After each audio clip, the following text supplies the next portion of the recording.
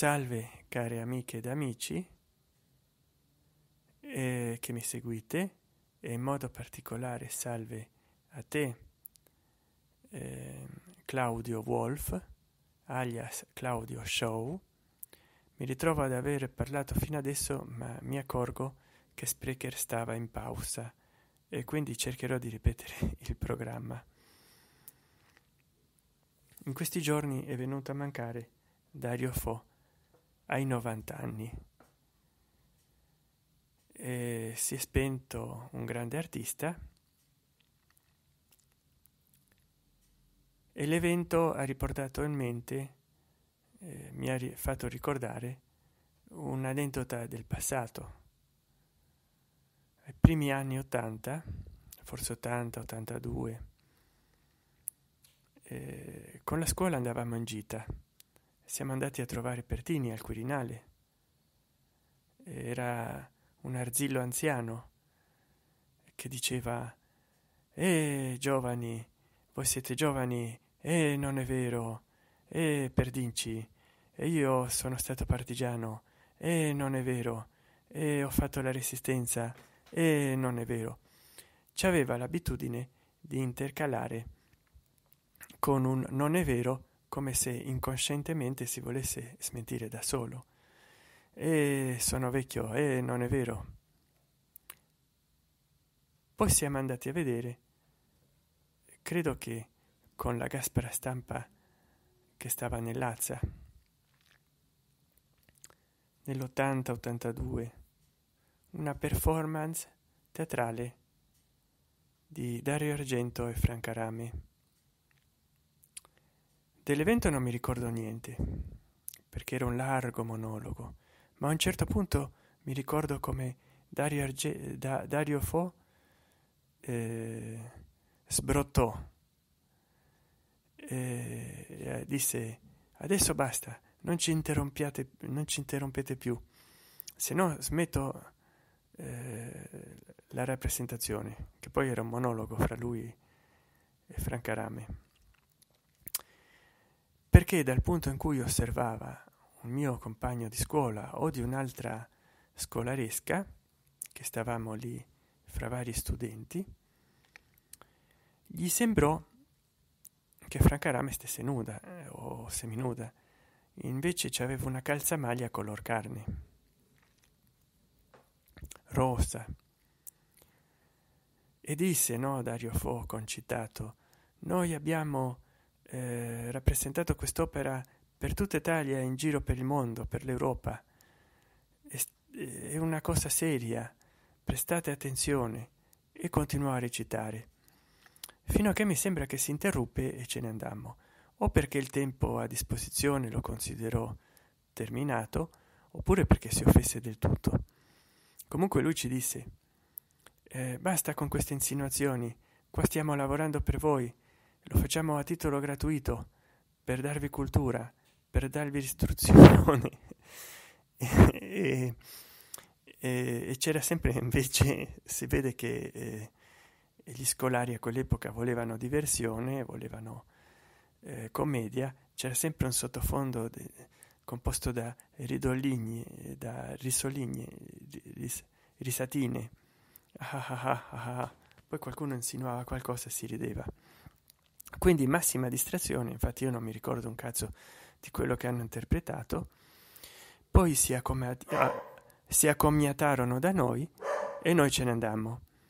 Ricordo tutt'oggi eh, che nel pullman si discuteva la nostra professoressa di lettere e qualche alunno che si interessarono al caso se eh, Franca Rame stava eh, seminuda, nuda, e la professoressa di lettere ci disse della prima o seconda media inferiore.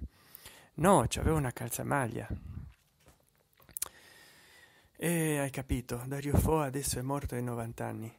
Questo se è successo negli anni 80, nell'80, sono 80, 90, 2000, 2010,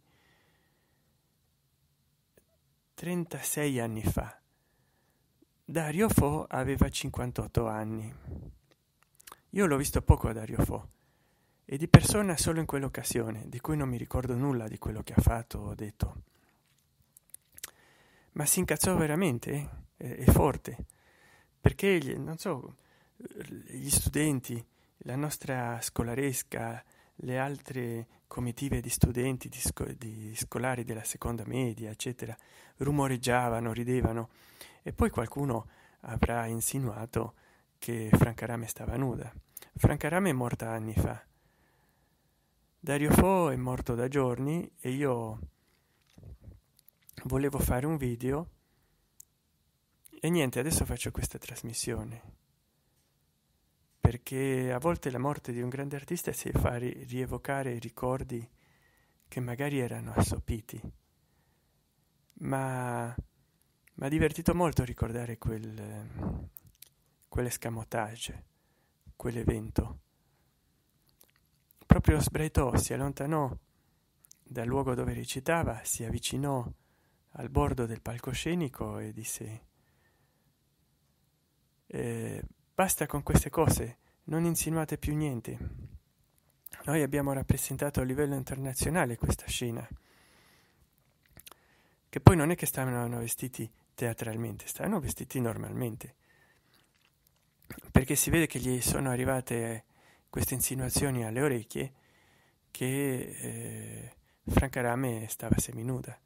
Invece c'aveva uno, stra uno strano décolleté una strana calzamaglia di un colore certo che visto da lontano dalla prospettiva di quello studente che ha fatto la sua osservazione sembrava eh, che non avesse nulla addosso. E, e, poi mi ricordo appunto di un'altra gita scolastica che siamo andati a trovare Sandro Pertini al Quirinale ci ha accolto benevolmente e ogni cosa che diceva intercalava e non è vero eh? che poi parlava tantissimo. Diceva tante cose. Parlava uno a uno agli studenti gli parlava uno a uno. E ogni cosa che diceva ebbene eh, e non è vero. E io mi ricordo quando ero giovane come voi. E non è vero. Che erano anni difficili. Non è vero. Ebbene e io lottai eh, per la libertà. E non è vero. E io già quando ero giovane studente e non è vero e eh, sembrava per certi versi anche Mike Bongiorno soprattutto negli ultimi anni. E non è vero che lottai e non è vero per la libertà feci il partigiano e non è vero. Beh sandro pertini aveva quasi l'età già a quell'epoca di eh, dario fo però che cosa eh, dopo aver ascoltato vabbè che ogni tanto ci pensavo a quei ricordi del passato ma adesso che ho ascoltato che è morto a 90 anni io eh, mi sono ricordato che ho visto Dario Fo dal vivo quando aveva 58 anni. Ehm, di molto non è che è cambiato. Però che cosa, no? Come sono i ricordi? Beh, questo è tutto per oggi, eh, care amiche ed amici rinnovo i miei saluti al nostro amico Claudio Wolf in eh, YouTube. Mi sembra che si chiama Claudio Wolf. In Facebook e Sprecher Claudio Show e in Google Plus.